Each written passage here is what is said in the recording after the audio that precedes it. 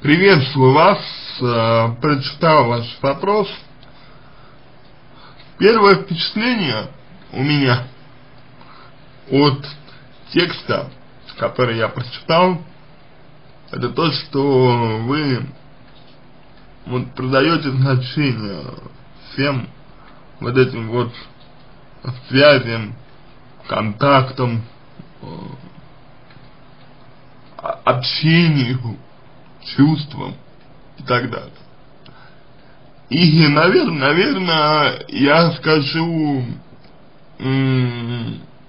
неприятную для вас вещь, но э, это означает, вот то, что я сказал, это означает, что э, у вас идет процесс сублимации. То то, насколько вы вот, э, подробно описываете светлую память, э, значит, э, общение с э, вот, родственниками погибших и так далее, а, это то, как, то, как вы воспринимаете это все. Это результат того, что у вас есть энергия, некая такая ваша энергия собственная, которая э, находит выход именно в такой модели поведения.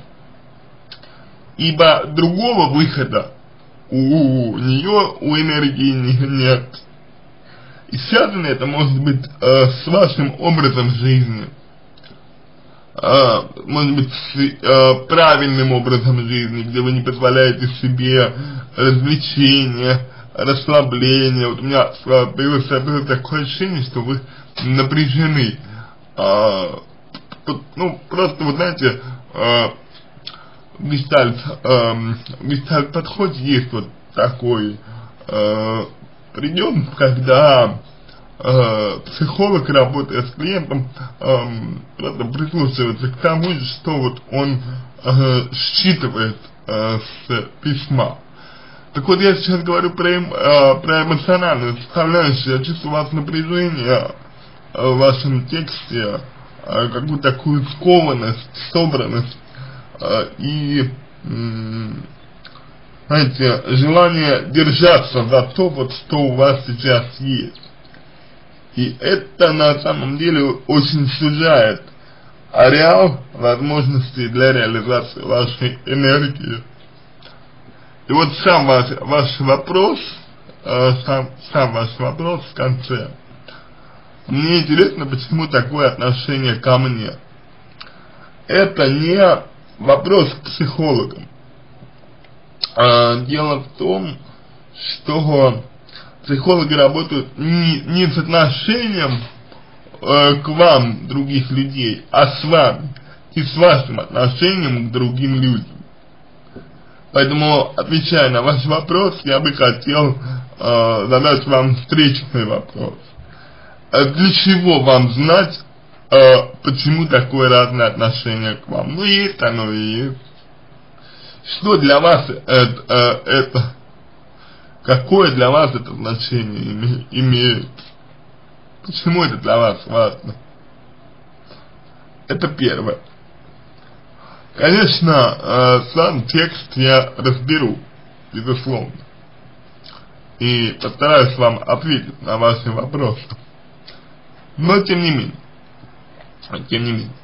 Далее вы пишете, что для вас значит светлая память начнем, пожалуй, с того, что светлая память э, довольно тесно, но не полностью, конечно, перекликается с верой. То есть, если человек верит в Бога, то как бы светлая память вполне себе опосредованно.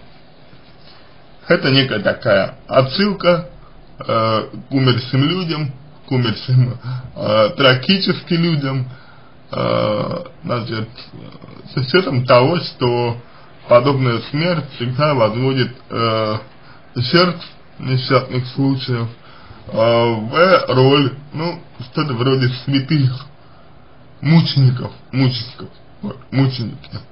И мученики э, это всегда источники светлой памяти. Именно потому что они мученики. То есть считается, что, ну, если я правильно помню, это э, я достаточно далек, далекий от теологии человек, э, но если я правильно помню, то да, вот э, мученик это человек, который э, принес э, себя в жертву, там, по, по воле Бога, например, э, для того, чтобы другим людям было хорошо. И поэтому вот считается, что она должна, должна быть светлая память. При этом нужно э, сразу оговориться, что люди, которые в Бога не верят, атеисты, агностики, э, они по большому счету считают, что э, память о человеке вообще-то говоря бесполезна. То есть умер человек, да, трагедия, да, больно, но он умер, э, нужно двигаться дальше. И вспоминать его, ну, значит только тревожить и расстраивать себя. И вот вся традиция, по крайней мере, э, в христианском мире, традиция э, 9 дней, да, там 40 дней, э, там каждый год. Это все от э, веры. И поэтому светлая память определяется именно этим, верой. И, пожалуй, говорить о том, что для меня светлая память, например. Это означало бы, что я вам буду говорить о своих каких-то взглядах на э, подобные события. То есть мое личное мнение, которое вряд ли вас интересует, по большому счету. Потому что вы же пришли за профессиональным мнением, а не за мнением личным личное мнение, я думаю, вы можете узнать у других людей. Поэтому светлая память, э, вот значение этой, этой, этой фразы э, зависит прямо от, от того, в контексте какой религии, какой конфессии она воспринимается. Каких э, именно вот э, религиозных э, взглядов придерживается человек. Или не придерживается человек. Например, вот атеисты, которые склонны все отрицать, да, отрицают и светлую память тоже. Говорят, что это иллюзия, что это не нужно. Они, они просто материально что-то э, видят. Агностики, ставя под сомнение, под сомнение, в общем-то, все, они задают вопрос, а насколько светлая память полезна для человека? Чем ли она полезна? Не преувеличивают ли ее роль? А, не возводит ли ее в культ, например? И по большому счету в каждой из точек, из точек зрения есть зерно истины. Мне кажется, что вам нужно к этому присмотреться, если вас интересует этот вопрос, но у меня к вам опять же встречный вопрос. Зачем вам знать, что для нас значит светлая память? Вам это зачем? Опять-таки у вас есть свое представление о светлой памяти, довольно серьезное представление, вы там э, 10 пунктов э, написали, э, вот, правда, последний пункт, последний пункт, пункт у вас 11, но вообще всего 10 Вот. А, а, ошиблись вы немножечко здесь. Вот. Ну, значит, у вас все четко э, расставлено, у вас четкое определение светлой памяти. И у меня вопрос. Так, а зачем вам знать, что мы думаем о светлой памяти, чтобы что? Получить подтверждение своим взглядом. А зачем? Вы не уверены в себе? Вы не уверены в том, что считаете правильно. Почему? А почему вы считаете, что есть какая-то точка зрения правильная, а есть неправильная? Почему вы считаете свою точку зрения в этом случае недостойной, например? А если вы хотите э, услышать другие альтернативные точки зрения, то здесь тоже очень важно понять для чего. Чтобы что? Чтобы поспорить. Но не каждый человек, например, э, готов при, принять другую точку зрения. Если я, например, вам скажу, что э, светлая память это миф, это иллюзия, это э, тако, такая же, э, такой же мыльный пузырь, как и религия, например, вам будет обидно. И это будет справедливо. Если вы верите в Бога, вам это будет обидно. Но альтернативная точка зрения выглядит именно так. И подумайте о том, готовы ли вы ее принять, готовы ли вы ее адекватно воспринимать. Вот. Так что о цели вашего вопроса я бы тоже хотел, чтобы вы подумали, для чего вам это, зачем. Далее вы пишете, моя коллега, друг и э, близкий человек со своим мужем погибли в результате несчастного случая ДТП вместе. Э, примите, пожалуйста, мои соболезнования вам. Терять близких людей всегда очень тяжело. Их родители одного возраста, я устал сразу, мне сообщили чуть позже. Ну, здесь, пожалуй, можно только, здесь, пожалуй, можно только сказать вам о том, что почему не узнали сразу. Но это не относящийся к делу вопрос. И вы тут говорите, и есть одна закономерность. То есть, получается как? Вы потеряли близкого человека, человека, друга, коллегу, и вы не пишете, когда это случилось. Вы тут же говорите про родителей, очевидно, что родители для вас это в, некотором, в некоторой степени средство для того, чтобы а, поддерживать, наверное, вот эту светлую память. И тут же вы говорите про закономерность.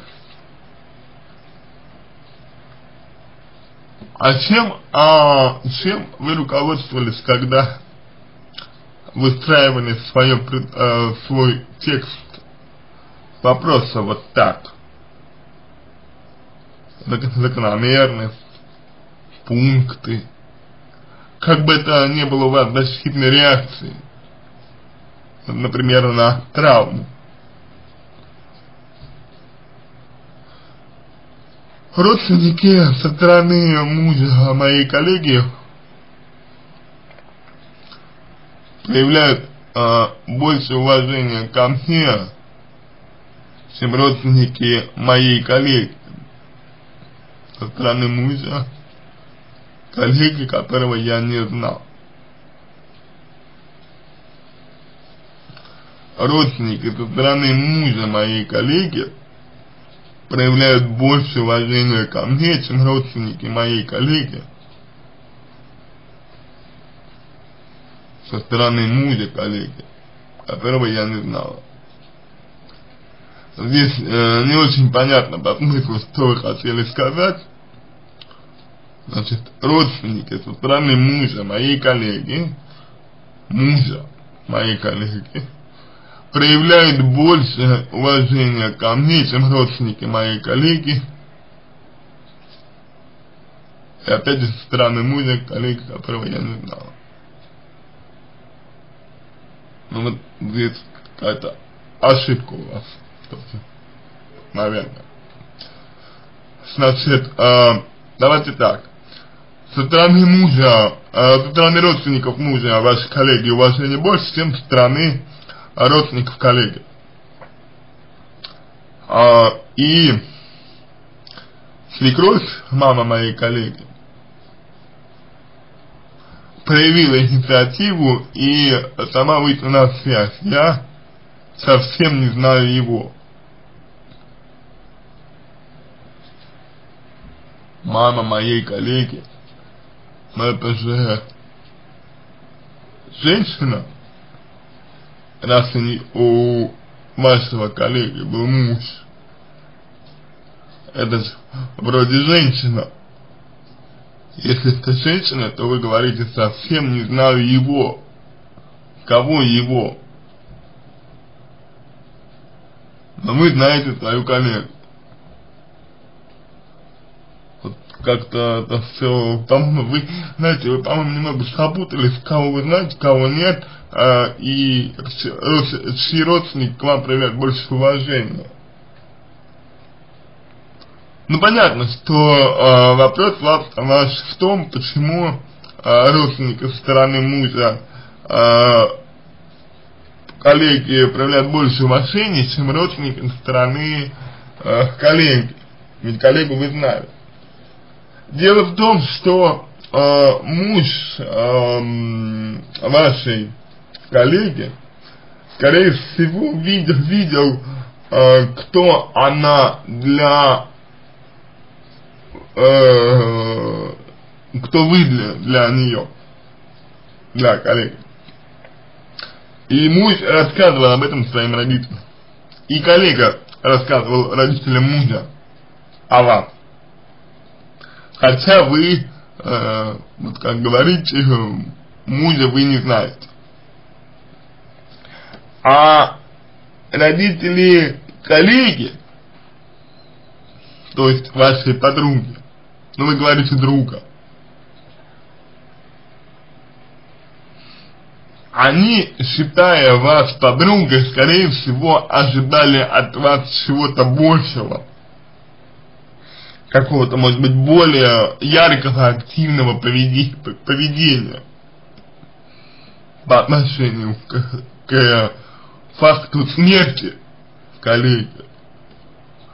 Тем более, что вы узнали не сразу, и это, возможно, родителей эм, вашей коллеги задело. Вы пишете, э, я знаю свою коллегу. Первое, мы звоним друг другу, вспоминаем. Опять же, э, кому друг другу вы звоните, э, ну, не очень понятно, потому что свекровь мама моей коллеги, э, инициативу проявила, сама вышла на связь ко мне, вы говорите, я не знаю его, но я знаю свою коллегу, то есть вот, знаете, двусмысленность получается. Я могу понять, каком контексте вы это все говорите, но и вы, пожалуйста, постарайтесь понять, что как бы не очень точно все это у вас написано. Значит, вы звоните э, маме вашей коллеги, вашей коллеги. Э, разные эмоции. Я вижу а, от э, сцены сообщения есть взаимная поддержка. А в чем тогда э, неуважение? Э, как вы оцениваете уважение тогда? Вы не приводите эм, для срав сравнения э,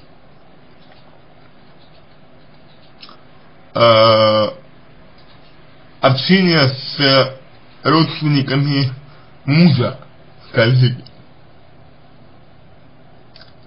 Ну, по крайней мере, я этого не видел. Пока. И как-то вот тоже возникает вопрос. Так почему вы решили, что уважение больше? А, мне больше ценен контакт с мамой а, моей коллеги, которая проявляет к вам меньше уважения, по вашему мнению. Но у меня нет такого близкого контакта. А, а, ну и не должно быть, потому что мама коллеги, мама друга, это не друг. И тесный контакт э, с ней да, довольно большая редкость. Вы даже не родственник. Для чего вам, э, например, близкий контакт, чтобы что? Она живет в другом городе, совсем одна, мне хочется также установить такую связь, есть воспоминания и поддержка. Вам хочется установить такую связь, также установить такую связь, где есть воспоминания и поддержка.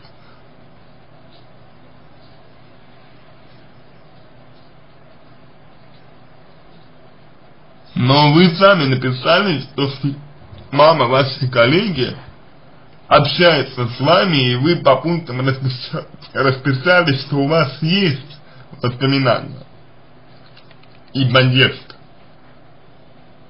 Значит, получается, вы а, ошиблись, а, у вас здесь а, про других людей идет речь. Получается, что вы имеете в виду не, не маму своей коллеги, а маму мужа коллеги. А с мамой коллеги вам хочется установить связь, но не получается, она живет в другом городе, совсем одна, и вам хочется установить связь, и будет такая же, э, такие же воспоминания и поддержка. Но опять же, зачем вам это? Мама не хочет вас видеть, мама не хочет с вами так близкого контакта. Маме тяжело, возможно, эти воспоминания, э, тяжело даются эти воспоминания, и тяжело дается поддержка. Для чего вам э, нужно устанавливать близкий контакт с тем, кто этого, например, не хочет? Кроме того, погружаться воспоминания тоже, знаете ли, не самый лучший расклад. Так или иначе, надо жить э, настоящим и будущим, а не просто. И помнить человека, безусловно, но помнить его образ, а не воспоминания. Иначе это чревато определенными последствиями для вас. Есть что-то другое с мамой коллегой, с мамой коллеги. Опять у вас с мамой коллеги. Другие разговоры, по времени я звоню реже, но также ощущаю э, важные ниточки доверия. Доверие даже вас большой буквы. Скажите, а у вас э, вообще много людей, которым вы доверяете? Вот как, как судя по тому, как вы э, воспринимаете маму вашей коллеги, да и вообще родственников, и коллеги, и родственников мужа, коллеги, насколько они вам дорогие и ценны, э, создается ощущение, что вы сами э, ну, несколько в дефиците вот этого вот доверия. Но она немного отдаляется. Доверие между нами есть, и, э, и этому тоже рада. Но она немного отдаляется, это ее право, она не хочет с вами общаться, вы напоминаете ей про дочь, ей неприятно. Это нормально. Примите ее э, выбор. Спасибо. За что? Спасибо. Почему такое равное отношение ко мне? А, я вам э, ответил на этот вопрос. Так, э, для меня светлая память это обширное понятие. Вот, судя по тому, что вы выделили светлую память, для вас это действительно очень обширное понятие. И не столько обширное, сколько значимо для вас. Значит, включает принятие осознания смерти, боль утрат. принятие осознания смерти, боль утраты к светлой памяти отношения начала никакого не имеет. Когда ты вспоминаешь человека с теплотой, уважением и благодарностью, что был в твоей жизни. Это правильно. Есть какой-то созидательный мотив, ты убираешь боль, обиду, недосказанность, ты отпускаешь, отпускаешь с любовью, э, на сердце нет того, что он может ранить, прощаешь себя и другого. Это что-то из, э, из э, религиозных текстов, возможно, но никак не относится к светлой памяти. А, плюс понимаешь больше свои ценности, за что можешь тратить, на что можешь тратить свою энергию в жизни. А, ну вот вы ее пока тратите э, не самым э, правильным образом, вот, но тем не менее, опять же, к светлой памяти это отношение не имеет. А, больше ценит свою жизнь, людей рядом, э, значит, пускай с легкостью поменялись ценности, ценишь простые вещи, которые дарят радость, э, понимаешь, что смерть это один из этапов жизни. Ценишь единение с людьми. Это опять же к светлой памяти отношения никакого не имеет. А вспоминаешь и делишься воспоминаниями. Ага, вспоминать можно, но э, воспомина вспоминать и делиться воспоминаниями э, очень опасно, можно в них э, зарыться, потому что воспоминания это всегда идеализация того, что было, и стремление вернуться туда-туда в то время. А вы скажете, что нет, это не так, я туда вернуться не хочу, но тем не менее, э, вспоминать ну, можно и нужно только в определенное время, только в свободное время, только чтобы это не мешало вашей деятельности вообще. Да, это относится к светлой памяти э, слушаешь их, выражаешь эмоции, осознаешь все, что происходит, и, э, потихоньку приходит светлая память. Нет, э, светлая грусть, нет, это вообще не то, это абсолютно не имеет никакого отношения к светлой памяти. Э, слушаешь их, выражаешь эмоции, осознаешь, все, что происходит, это по сути э, жить прошлым. Это не светлая память, это жить прошлым остановиться в развитии, снять с себя ответственность. Вот что это такое. Это не светлая память. Учитывая свое настроение других, чувствуешь пространство, делаешь фотокниги с воспоминаниями, создаешь э, то, что было ценно э, этому человеку и тебе. Это, опять же, прошлое, а, вот учитывая свое настроение других, чувствуешь пространство, это светлой памяти отношения не имеет, а, фотокниги с воспоминаниями. Это отношение имеет, но проблема заключается в том, что в этом опять же легко увязнуть. Для памяти не нужно, э, не нужно фото, не нужно книги, ничего не нужно. Человек живет в сердце, вы его помните, этого достаточно больше не, не нужно. Не нужно вот этой вот излишней визуализации памяти о человеке. Далее, э, ты заботишься о умершем э, молитвами и воспоминаниями. Воспоминаниями о нем вы не за, э, об умершем вы не заботитесь, э, потому что умершему все равно, его уже нет. Вот. А, в лучшем случае он может вас э, услышать, если вы верите в Бога, но э, заботы вы ему не даете. Вы таким образом, э, себе что-то даете, свои потребности удовлетворяете, это да, но ни в коем случае не э, заботитесь об уме с воспоминаниями. Что касается молитвы, то это зависит от э, вашей веры. Ты идешь вперед, когда останавливаешься, благодаришь за встречу, опыту, боль, э, и понимаешь э, через это я и повзрослела. Это не имеет отношения опять же к светлой памяти. А, опора, принятия, благодарность, забота, уважение, осознание и тишина. Это звучит как э, некий ориентир, опять же, в богослужении, но не, в, не к светлой памяти. Ну вот, в принципе, то, что я хотел вам сказать, надеюсь, э, мой ответ был вам полезен.